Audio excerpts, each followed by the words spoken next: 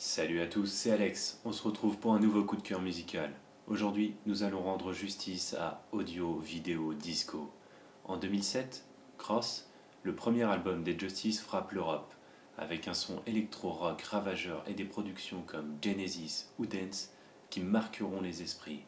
Après plusieurs récompenses et apparitions, notamment dans le jeu vidéo GTA 4, Justice revient avec un second album en 2011 prénommé Audio Vidéo Disco. Avec un premier titre, Civilization, qui met l'eau à la bouche, on retrouve ce second opus à la frontière du hard rock et du progressif, avec des titres comme New Lens et On and On qui deviennent de véritables hommages aux plus grands, notamment ACDC ou Led Zeppelin. On se laisse affredonner sur la prod Ohio et nous rappelle étrangement sa grande sœur Dance par ses voix masculines très aiguës et son rythme mais c'est bien avec House Power et Canon que nous ressentons une poussée de testostérone et un goût de frénésie comparable à une soirée bien arrosée.